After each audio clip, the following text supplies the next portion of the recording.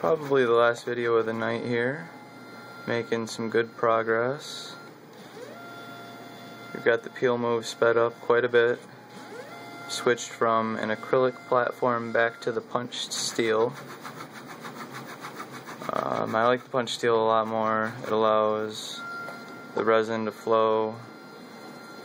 Uh, there's a lot less suction. It overall just works out a lot better allows us to pick that speed up as you can see.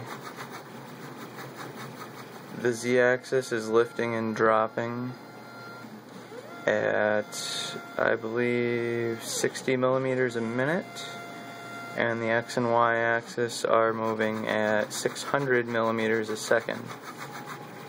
I'm not sure if I actually have acceleration settings turned up high enough to achieve that speed uh, with this uh, smaller part here but it's still moving really quickly.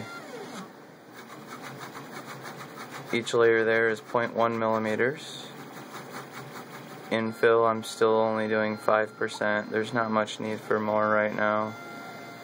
It wouldn't add too much time to increase it to 10 or 20 or 30%.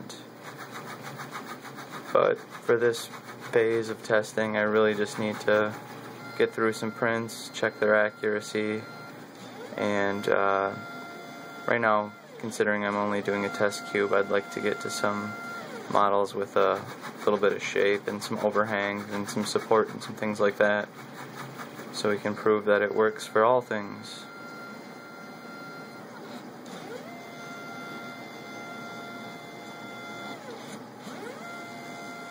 Let's go over to the computer here can see 600 millimeters a second, my slicer profile there.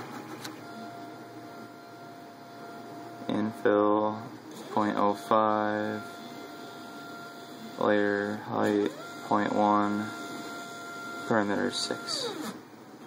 And running printer interface, and here you see the real-time view.